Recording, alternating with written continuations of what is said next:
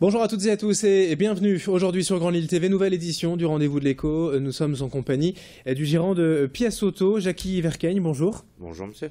Alors merci d'avoir répondu à notre invitation. Déjà en, deux mots, alors Pièce Auto, la réponse est dans la question, mais dites-nous un petit peu quand même euh, le concept de la société. Alors le concept de la société, euh, il, a démarré il y a 20 ans. D'accord. Avant, on était grossiste et le particulier avait beaucoup de demandes.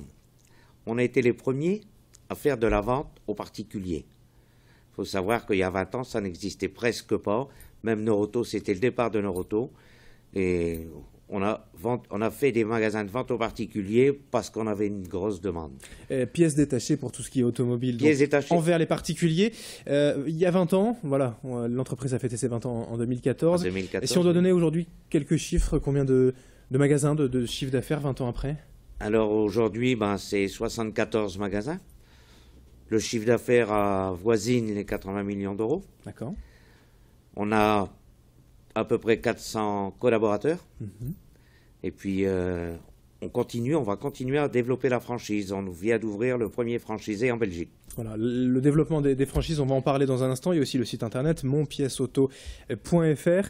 Alors pour revenir quand même au, principe même des, pièces détachées, voilà, c'est quelque chose effectivement dont on parle de plus en plus, mais à, qui vous vous adressez quand on parle des particuliers? C'est le bricoleur ou c'est vraiment tout à chacun? Non, non, on s'adresse à tout public. C'est-à-dire que l'étudiant qui n'a pas d'argent, qui veut de la pièce, le mécanicien qui vient chez nous, parce qu'il faut savoir qu'au prix, on doit être les meilleurs du marché. Je ne vais pas dire qu'on est les meilleurs parce qu'il y a peut-être toujours moins cher, mais on vend que de la pièce d'origine.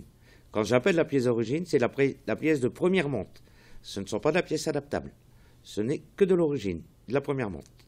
Qu'est-ce que c'est exactement la différence pour ceux qui, nous ben, regardent? Vous avez la pièce d'origine, si vous voulez, ben, vous prenez en frein, vous prenez Bindix, Valeo, c'est la pièce d'origine.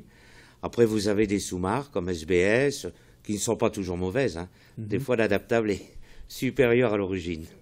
Mais en tout cas, voilà, vous ne travaillez qu'avec la pièce qui a été déjà dans la, pièce, voilà. au moment où elle a été construite. La pièce qui est montée à l'origine sur la voiture. Comment vous, faites pour euh, convaincre finalement les, fournisseurs et comment vous avez fait surtout il y a 20 ans pour convaincre les fournisseurs bah, de travailler directement avec il, vous Il y a 20 ans, si vous voulez, j'ai mis ma maison en caution pour avoir de l'argent à la banque mm. parce que le proverbe, les banques prêtent qu'aux riches, ça c'est vrai. Et avec ça, si vous voulez, bon, j'ai démarré, on a démarré, puis euh, avec des très petites marges, très petites marges, parce qu'on n'était pas placé, parce qu'on n'avait pas de volume, et puis donc euh, les fournisseurs ne nous faisaient pas confiance, fallait payer comptant. Donc on a démarré très petit. Et puis au niveau des, des stocks, euh, pour acheter toutes les pièces sur une voiture, il doit y avoir des dizaines de milliers de pièces différentes. Oui, mais on s'est ravitaillé beaucoup sur les plateformes existantes sur la métropole lilloise. On n'avait pas l'argent, donc on ne pouvait pas acheter des palettes et des palettes. Donc on a acheté des, des unités. Hmm.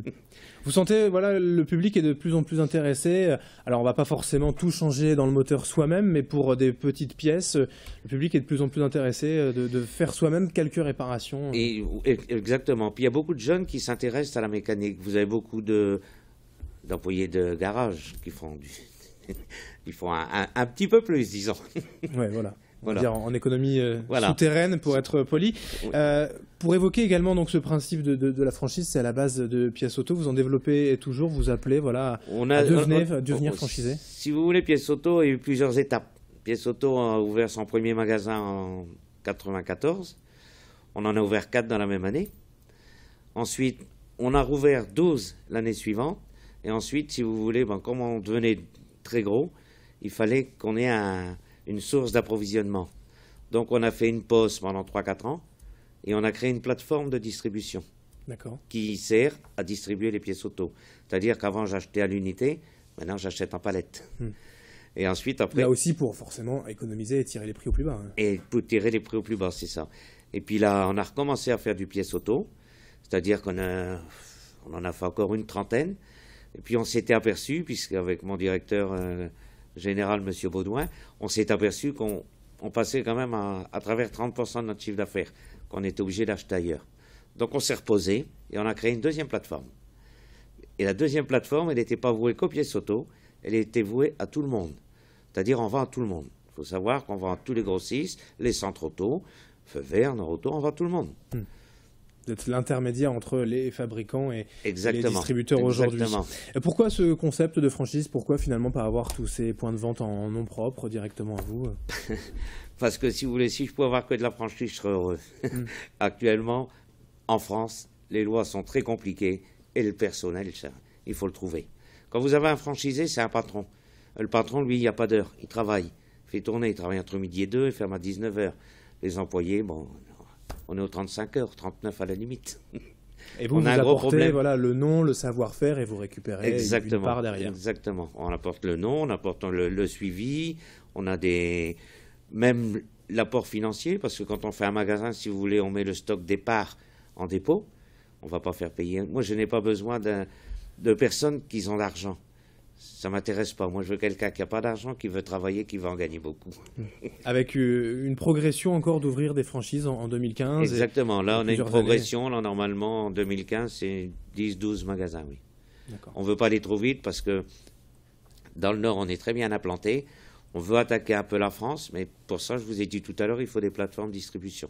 Hmm. Donc, il faut qu'on prenne des accords avec des collègues.